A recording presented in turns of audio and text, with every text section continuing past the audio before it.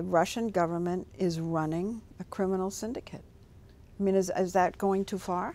No. I think increasingly today, the Russian government is a criminal syndicate. It's a rogue state when it comes to cyber activity, and it's causing harm to countries, companies, and people throughout the world. Well, this is Omaha, Nebraska, and the FBI reported that the first infections they found were here in Omaha. And then you begin to see what? Show us. Well, you see where all the infected computers were um, that were part of this criminal network. Oh my goodness. Whoa.